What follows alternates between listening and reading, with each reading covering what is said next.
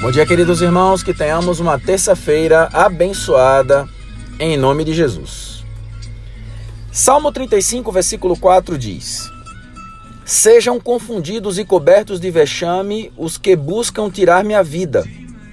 Retrocedam e sejam envergonhados os que tramam contra mim.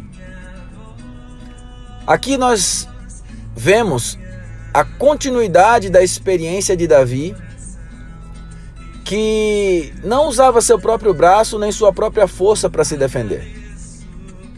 Mas nós vemos um homem que orava ao seu Senhor, ao seu Deus, para que ele pudesse o proteger, confundindo aqueles que buscavam tirar-lhe a vida e fazendo com que retrocedessem envergonhados os que tramavam algo contra Davi. Olha só, irmãos. Na nossa vida, nesse mundo, às vezes no ambiente de trabalho, às vezes na escola, na universidade e em muitos outros ambientes, nós podemos ser vítimas de pessoas que tramam contra nós. Mas nós precisamos entender que a nossa luta não é contra o sangue e contra a carne.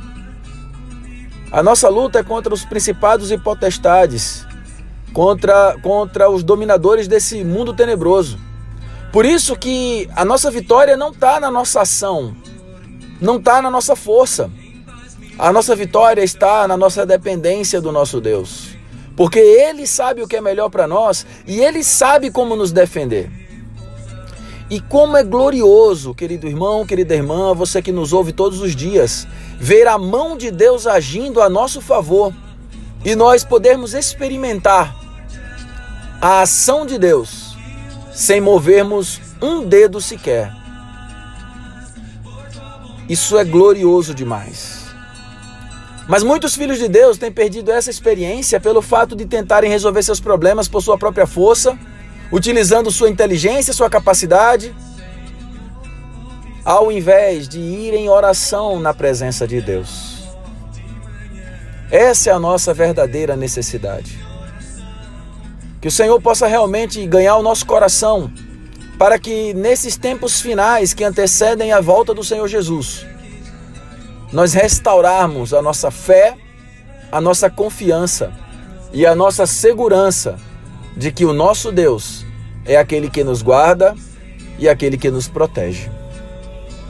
Senhor, nós ainda queremos te orar nessa manhã, para que tu possas ganhar o nosso coração.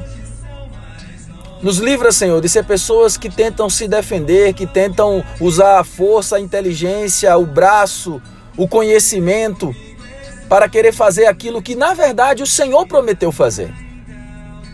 Nos ensina, Senhor, a depender de Ti, a confiar em Ti e mesmo nas circunstâncias mais difíceis, ainda ver que Tu és Deus e que Tu sabes o que é melhor para mim e para cada um de nós. Por isso, Senhor, nos ganha ainda mais nos leva a confiar em Ti, a depender de Ti e a Te buscar em todas as situações. É o que nós te pedimos, em nome de Jesus.